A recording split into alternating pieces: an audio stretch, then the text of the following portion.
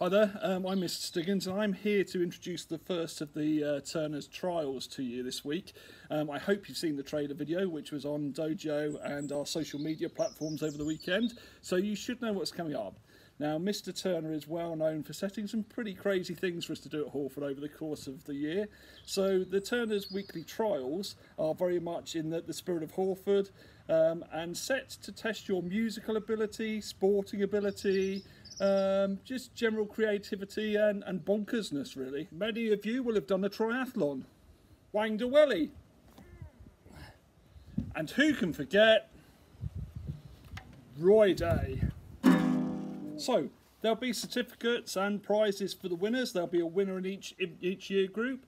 Um, there'll also be two house competitions, one for each half of term. So any entries there, um, I think first, second, third, and even fourth will count towards house points. Uh, the first of the house challenges uh, is coming up next Monday, and I believe Mrs. Marshall Walker has put a trailer up on uh, Facebook um, and other media platforms and should be going on Dojo, so look out for that. Challenges will be set on a Monday afternoon, and you'll need to get your entries to us by uh, the following Friday by midday. The best way probably to enter, if you can do, is through Dojo. But if you need to, uh, please use my email. You don't um, have to take part in all the challenges, but um, we'd love you to, to take part, have fun, and really enjoy yourselves with them. Here are a few clues to our first challenge.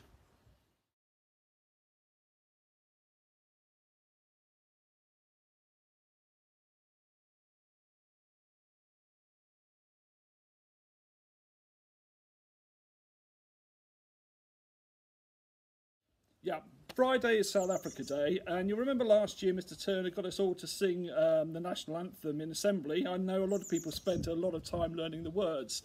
Now, the South African national anthem is actually two songs mashed together, and it's five different languages, so really quite complicated.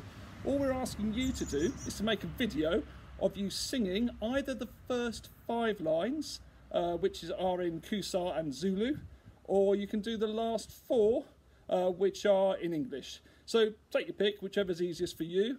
Uh, make your video and get it into us. If you can, this is a Turner's trial, so a little bit of a twist.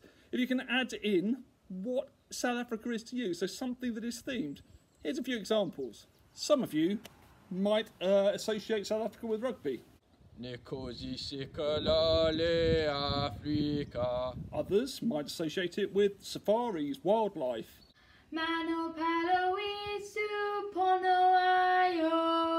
So put your thinking caps on, get creative, and we really look forward to seeing you having fun doing these trials. Don't forget, post a dojo preferably or email me by Friday.